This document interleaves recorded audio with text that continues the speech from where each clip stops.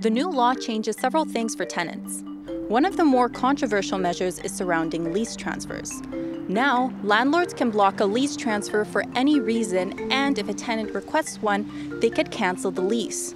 Before, they could only object to lease transfer if they had a valid reason and they had to prove it. This is one of the only tools that tenants have to be able to keep uh, rent at a reasonable um, amount, especially given that there is no rental registry.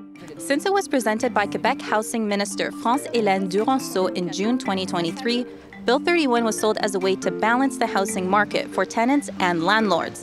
And she says there are measures to protect tenants. L'idée principale de ce projet de loi-là, c'était d'agir contre les évictions, de mieux protéger les gens qui sont vulnérables. For example, if a tenant doesn't respond to an eviction notice, it will be automatically understood as a refusal, and their landlord will have to take them to the housing tribunal to plead their case.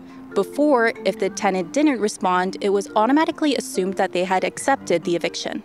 The law also forces landlords to compensate tenants for an eviction between 3 to 24 months worth of rent, depending on how long they've been there. For buildings built within the last five years, landlords will no longer be able to increase the rent arbitrarily. Instead, they'll have to set out the maximum amount they'll ask for in advance. Tenants will also be allowed to seek compensation if their landlord does not inform them of the previous rent, but this housing advocate says no tenant will take their new landlord to court. He says this measure, along with almost all the others in this new law, do nothing to help tenants.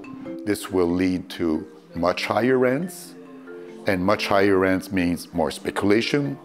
More speculation means more evictions. This new law also changes several aspects of housing law for companies and municipalities, but their impacts will be more obvious in the long term.